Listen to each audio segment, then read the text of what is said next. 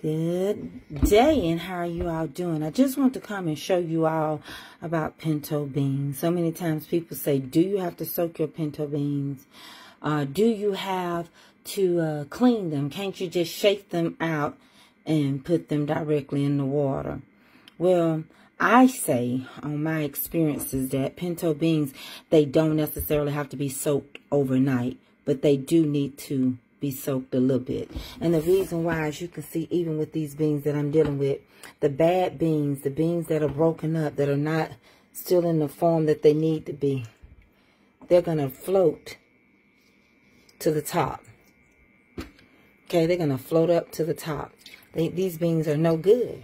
Okay, and uh, just like anything else that comes out of a, a field, uh, beans can have dirt pockets in them.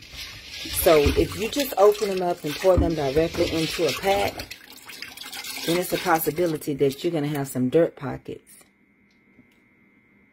into your pinto beans. All right? So this is this is your first step with pinto beans. Clean them by soaking them a little bit, letting the bad beans float to the top. Take them out and proceed. You can tell that's a bad bean. Look at it. Okay, they will float up to the top. The dirt um, balls, also, you want to rinse them real good after this step. They will float. You'll stir them around a little bit. Just like that. And get all those beans and pieces that are no good. They will float to the top. Do you see what they're doing? They're beginning to float up to the top. That, that, that, is no good, okay? The bean that is no good. It's going to float up. It's going to have a defect in it. It's going to look like it's either almost rotten or something. Okay? That's the first thing you want to do. The next step that I'm going to do is add me some beef broth in here.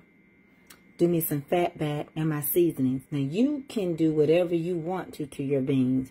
You can cook them in beef broth. You can cook them in chicken stock, vegetable stock. That's up to you.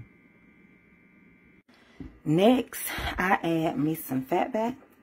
As you, you can see, they're not floating anymore. So I'll go ahead and add some fat back into my beans.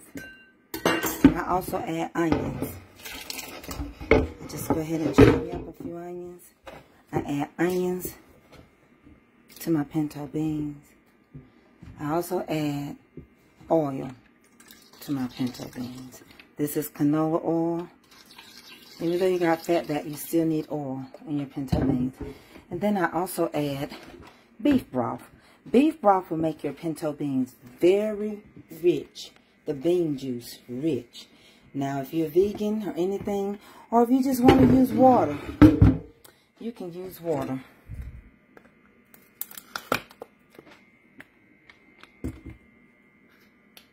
I add beef broth. Let's get it open. And let's get it moving. I use beef broth.